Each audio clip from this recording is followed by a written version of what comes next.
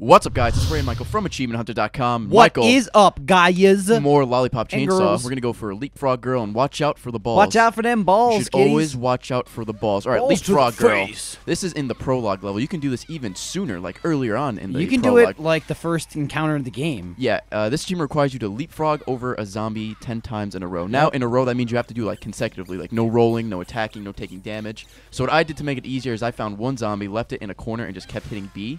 Yeah. And if you saw the uh, the fast forward, it was like maybe like 17 or 18 attempts. I'm not sure if it's up. like glitchy or it's just because I did it so rapidly that the game couldn't keep up. Whoa. But you can do that You're super quick. early on in the game, and Girls it's like it easy, when you're uh, quick, Ray. It's easy gamer score. Dude, All how right. awesome was it for that zombie? Because he could just look up her skirt the whole time. He's This is like, true. I get to see it before I die. Do you think he actually saw? it? Do you think she covered it? Like, no, side, she didn't like, give a shit, dude. She's like, oh, she didn't you can't see that in the video, but I covered my butt in my groinal area. he did. He did grab his groin. Next achievement, It watch out for the balls. Uh, this is the first boss. This is Zed, and if as you saw there, he did like an attack where he shot these things at you like this. Oh, this is the final stage, by the way. Of yeah, like, yeah. There's fight. there's three stages. to this boss fight, so this is the third stage. Now, the first time you saw, uh, they came back after me, like at me, and a quick time Mhm. event came up, and you have to do that correctly for it to count.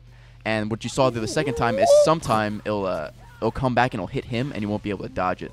So here it is again. You have to do that 15 times. Now it doesn't have to be in one boss fight; it can be spread across multiple playthroughs. But It sucks. 15 times is a lot. It takes forever. Yeah, you need to do that actually to damage him, but you don't need to do it 15 times. Like I think you just need to do it like a handful of times to actually defeat him. Fucking like, just stand far away, and he'll use more projectile attacks Yeah. as opposed to whacking the crap out of you. But it still fucking takes forever. yeah, you can grind it out in one battle like I did, or you know across multiple I love playthroughs. grinding it out. grinding it out, but uh, yeah. So there you go. Grind it out.